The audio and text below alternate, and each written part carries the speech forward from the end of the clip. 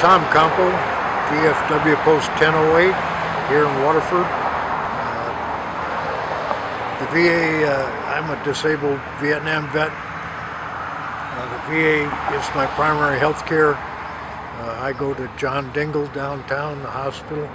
Uh, they've been great. You know, the facility's severely overloaded uh, and probably underfunded for the amount of veterans that they have to take care of. But once you navigate your way into the system, they do a fabulous job. They mean well. I think they're just challenged by the number of veterans coming back.